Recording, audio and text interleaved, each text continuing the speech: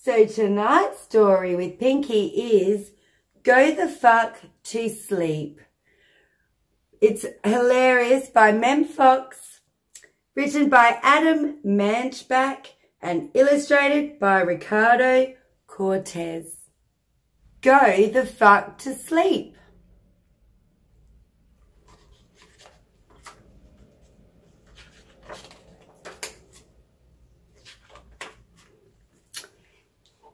The cats nestle close to their kittens. The lambs have lain down with the sheep. You're cozy and warm in your bed, my dear. Please go the fuck to sleep. The windows are dark in the town, child. The whales huddle down in the deep. I'll read you one very last book if you swear you'll go the fuck to sleep. The eagles he saw through the sky are at rest, and the creatures who crawl, run and creep. I know you're not thirsty, that's bullshit. Stop lying, lie the fuck down, my darling, and sleep. The wind whispers soft through the grass, hun. The field mice, they make not a peep. It's been 38 minutes already. Jesus Christ, what the fuck? Go to sleep. All the kids from daycare are in dreamland. All the froggy has made his last leap. Hell no, you can't go to the bathroom. You know where you can go? The fuck to sleep. The owls fly forth from the treetops. Through the air they soar and they sweep. A hot crimson rage fills my heart, love. For real, shut the fuck up and sleep. The cubs and the lions are snoring, wrapped in a big snuggly heap. How come you can do all this other great shit, but you can't lie the fuck down and sleep?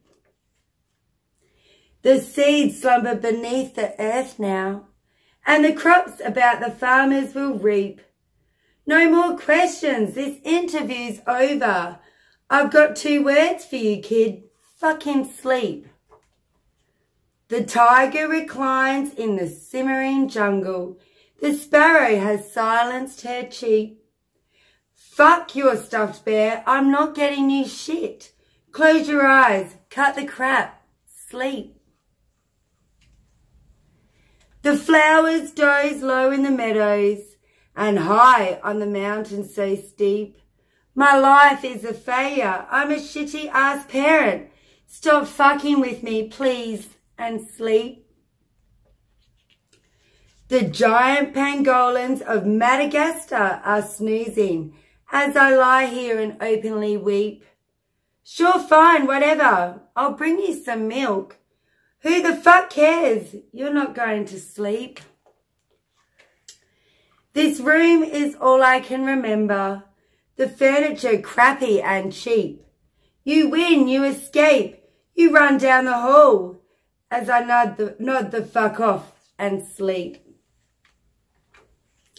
Bleary and dazed I awaken to find your eyes shut, so I keep my fingers crossed tight as I tiptoe away and pray that you're fucking asleep.